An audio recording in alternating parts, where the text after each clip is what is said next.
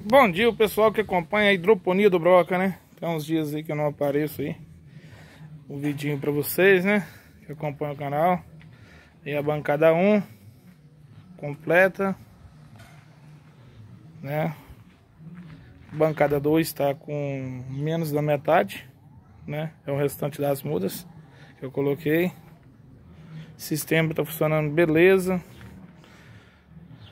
A hidroponia está ficando bonita, né? Tá desenvolvendo bem as alfaces, crespa e americana, né? Hoje eu repus a nutrição, já que o calor tá um pouquinho mais alto que normal, né? Hoje foi dia de repor, olhar algumas mudas, qual que é a diferença, né? Ó, algumas está grande, outros está pequena.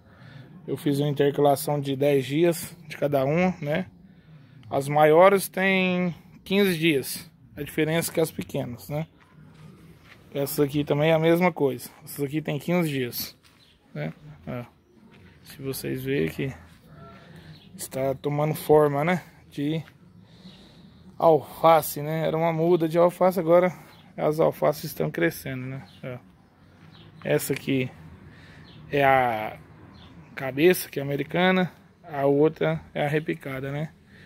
E as de lá, rúculas, né? Que eu já tinha no sistema, passei elas para a sombra, né? Só isso só, pessoal, obrigado. Daqui três dias ou quatro dias eu volto para mostrar para vocês a evolução, né? Da hidroponia. Uma bela tarde para vocês, né? Que tá chegando aí.